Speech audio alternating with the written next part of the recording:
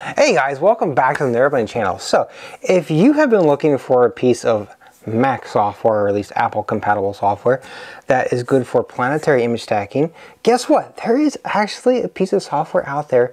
It's free, and it's actually pretty good. Now, this piece of software, it's called Lynkeos, and I believe it's developed by somebody in France because the website it shows, you know, a French option for language and everything. And I haven't seen like a, lo a lot of development over a couple years that I was using it. But recently the guy came out and he did a couple updates and he fixed a few of the bugs that were in it that, you know, made it actually very easy to use now. And also, here's the coolest thing of all, is that if you have a newer Apple with the M chips in them, this software is now optimized for it, which is one of the one of the things that I cannot say about just about any other piece of planetary stacking software out there. They've all been written for older, ancient hardware from 20 years ago and are not really optimized for the multi-core processors that we have today.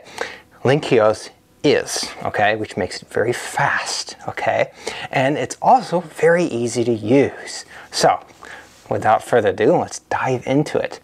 Lynkeos is nice in that you basically start on the left hand side and you work to the right.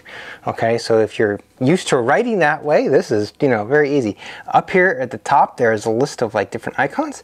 And the first thing we'll do is we will click on list. And list is where we go look for images. So I've got some FITS files here. Uh, I'm not going to drag in all of them. Let's, let's just do like 50 of them just so that we can do this quickly and it will basically import those images. Now, the first thing we need to do is select one of them, okay? Doesn't matter which one. And then over here on the other side, we're gonna see we've got our image of the sun here, and we're going to basically draw a selection box. Actually, we need to go to the align section first. Actually, analyze. I'm gonna, I'm gonna do analyze first. Uh, and, and there, so there, I've made my box selection. Eh, let's make it a little bit bigger okay? It always seems to use a square, but oh well. And what this is going to do is it's going to align all of our images based on these spots that are on the sun. So I'm going to go ahead and analyze and it will go through and it will analyze them based on the quality of that particular section and, and then we'll go back and I'll do a line. You can do this the other way around too. You can do alignment first.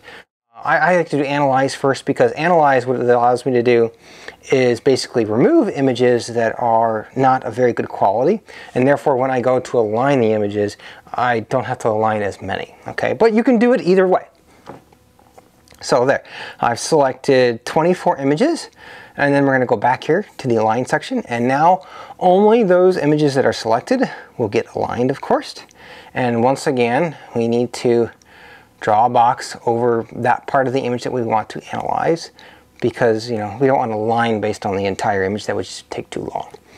So I'm going to go ahead and click on this and this part will take a little bit longer. It actually does it kind of randomly. It doesn't go through the order of the images in the order in which they're in the software or your folder and everything, but you know, it does it pretty quickly. You know, I know it actually does it a lot faster than the older version did before this guy did an update. And I know this guy did an update, I think it was like at the end of last year, so 2023, something like that.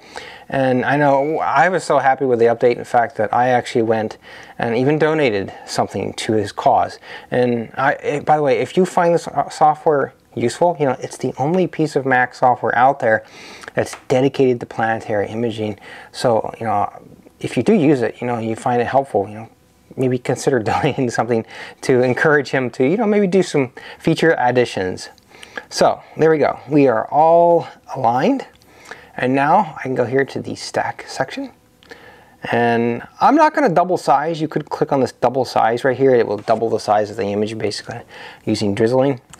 But uh, let's kind of let's get try to get the entire image in here because we want to draw this red box over everything that we want in the picture, okay? Which in this case is just about everything. All right, so now we're gonna hit stack. And Lynkeos will go ahead and stack the images. And it doesn't take very long. There it is, there, there's our stacked image, okay? And next we will do deconvolution. And deconvolution is a really screwed up way of saying sharpening.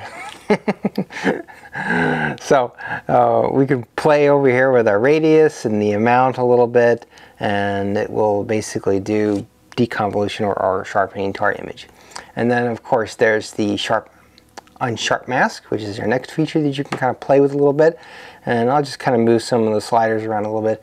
Uh, typically I would mess around with this to kind of try to see if I can get the best optimal image that I possibly could. Maybe zoom out a little bit too. Uh, then there's the Lucy Richardson, which is another type of sharpening system. And then of course wavelets is another item we have. Now wavelets, uh, there's different ways to kind of tackle this. Like some guys will make the curve slope this way, other guys will make the curve slope the other way. You know, and you can see here, okay, this, this is the one bug that I've found in the software. Sometimes it makes these purple lines that go across the screen.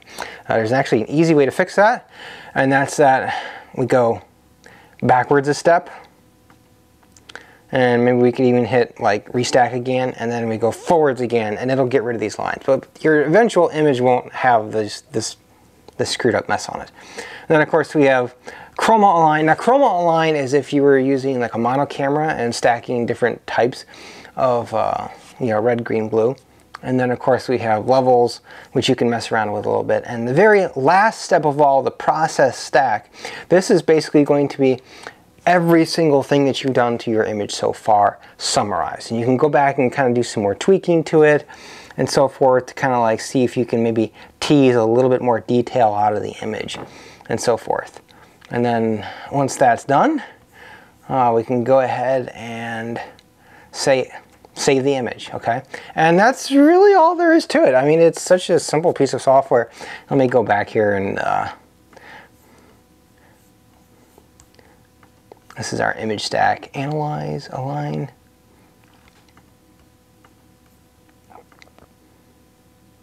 And you see here I, yeah, I basically clicked back to align and then clicked forward into Chroma Align and it got rid of those horizontal lines, which, which is the only bug that I've seen so far. It's kind of a little bit of a nuisance, but you know, it's free software. okay, so there, I hope you enjoyed this. And you know, hey, there is a piece of software out there. You can do planetary stacking uh, using a Mac.